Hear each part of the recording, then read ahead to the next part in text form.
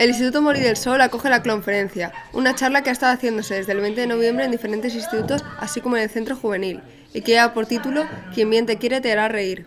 Durante noviembre el Instituto Mori del Sol ha estado trabajando por una mayor igualdad de género. Por ello todo el vestíbulo del instituto ha sido llenado de murales con frases contra la violencia de género y a favor de la igualdad. Además se realizó una lectura dramatizada de testimonios sobre la violencia de género. A dedicat ganes i, i temps per igualtat de género a l'IES Moli del Sol. Esta charla forma parte de las actividades de las Jornadas contra la Violencia de Género, llevadas a cabo por el Ayuntamiento de Mislata y la Concejalía de Mujer y Políticas de Igualdad. A este acto acudieron el alcalde Carlos Fernández Bielsa, la concejala de Igualdad Carmen La Peña, la concejala de Educación Ana María Julián y el concejal de Juventud y Servicios Sociales Chimo Moreno. Bielsa ha querido recordar a todos los estudiantes del centro antes de la conferencia lo importante que es el buen trato, el respeto y la lucha contra la violencia de género.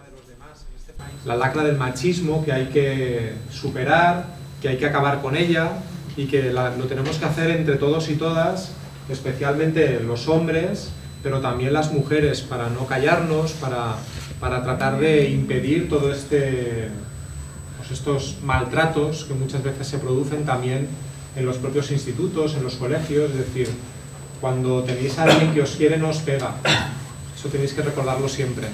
Esta charla habla del fomento de un amor bueno y sano entre las parejas. Se realiza en formato clown, por lo que son dos payasos los que la llevan a cabo. Así lo explica Maya Prieto, de la Escuela Clown Hijos de Augusto de Chiribella. Venimos a hacer una conferencia que se llama Quien bien te quiere te hará reír que es una charla que habla pues de, de, cómo fomentar el buen amor en las relaciones y empezar a poner de moda el verbo bien tratar más que el verbo maltratar y es una charla en clave de clown. Entonces son dos clowns quien vienen a dar la charla. La idea es que mientras el payaso y la payasa van leyendo lo que es el contenido de la conferencia, van dándose cuenta y aprendiendo cosas al tiempo que lo hace el alumnado presente. La conferencia es de carácter participativo y busca promover reacciones de opinión sobre el alumnado. Como explica Maya, al finalizar la conferencia se hace una reflexión sobre el tema y los estudiantes se posicionan contra el maltrato.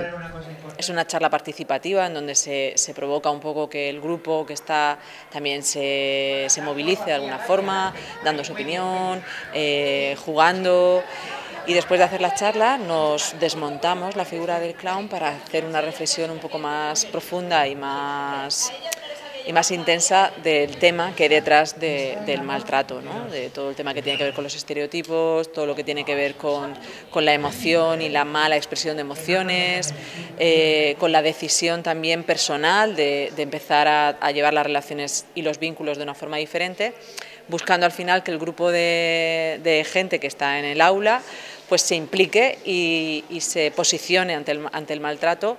Como explica Carmen La Peña, esta charla posee un mensaje muy positivo para los estudiantes, por lo que promover este tipo de actividades entre los jóvenes es importante. Mediante el entretenimiento, esta conferencia consigue despertar conciencia en el alumnado.